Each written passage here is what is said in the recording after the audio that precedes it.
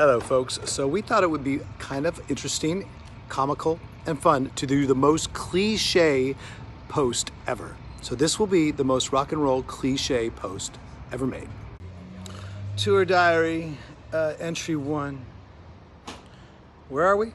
We're Bedford. It's just always good to play Bedford. You know, it's just like a home away from home. The crowd is always amazing. Hashtag good crowd. We are just so hashtag blessed to do what we do. No, I'm doing it. I'm doing it. It's cool. It's cool. Did you know I'm in a band? Oh, really? I play drums in a band. Oh, that's cool. First show of the tour. Hashtag tour life. Check it out. I just found a brick wall to lean up against.